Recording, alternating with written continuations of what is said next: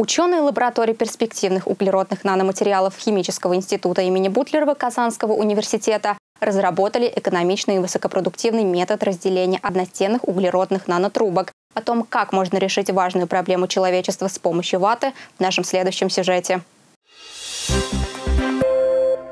Начнем с того, что же такое углеродные нанотрубки. Это макромолекулы, которые можно сравнить с ниточками или проволоками. Их длина значительно превышает их диаметр. Нанотрубки, можно сказать, растут, как, например, растут волосы. Из маленькой частички катализатора вырастает длинная нанотрубка. Так вот, когда углеродные нанотрубки растут, то они получаются все возможных структур, которые мы называем словом хиральности, хотя это не совсем правильное слово здесь.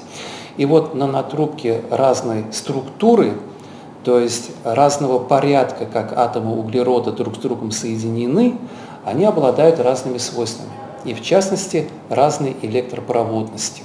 Поэтому свойства углерода нанотрубки делятся на два типа. Первый – металлический тип проводимости, второй – полупроводниковый. Каждый из этих видов уникален по своим свойствам. Например, в теории металлический тип можно было бы использовать в проводниках, то есть заменить ими металлы, а полупроводниковые можно использовать при изготовлении транзисторов, либо благодаря их оптическим свойствам, например, тираностике. Но из различий нанотрубок они взаимно портят друг друга, как, например, добавить деготь в мед, и мед уже не будет сладким. Поэтому со дня открытия нанотрубок нанотрубок научное общество серьезно занимается предметом разделения нанотрубок, то есть собрать в одну сторону трубки с металлической проводимостью и отдельно собрать трубки с полупроводниковой проводимостью. Вся прелесть нашего изобретения заключается в том, что мы придумали метод разделения углеродных нанотрубок, который одновременно и эффективен в стоимостном выражении, и масштабируем, ну, будем говорить, до бесконечности.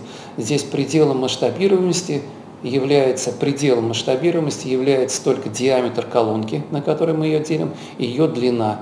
То есть может это, то, то есть не ограничено практически ничем. В качестве наполнителя для колоночной хроматографии ученые Казанского университета стали использовать обычную хлопковую вату, которая продается в любой аптеке. Гель проникающей хроматографии, который используется в существующем методе разделения нанотрубок, представляет собой структурированный гель на основе агарозы, то есть полисахарида. Но какие есть полисахариды более доступные? Над этим вопросом задумались ученые КФУ. Одним из наиболее известных полисахаридов является не что иное, как целлюлоза.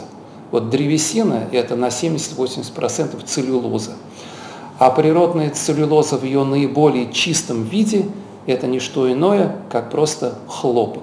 Вот хлопок, если с его волокна смыть небольшое количество восков, которые ну, составляет, может быть, 1-2, максимум 3% по весу от, от всего хлопка, это не что иное, как природная целлюлоза природный полисахарид. Необходимо было изменить структуру волокна хлопка таким образом, чтобы молекулы поверхностно-активного вещества по-другому выстраивались на его поверхности. Обработав вату смесью азотной и серной кислот, на поверхность волокна стали садиться нитрогруппы. Этот процесс называется нитрованием. Результат превзошел все ожидания. Эффективность деления нанотрубок была заметно улучшена. По словам Айрата Демиева, разработанный метод позволит создать технологию разделения углеродных нанотрубок для использования на производстве производстве. Тогда уже можно будет говорить о создании новых функциональных материалов для электроники, фотоники и других сфер деятельности. Джимми Небаева, Фарид Захидоглы, Универньюз.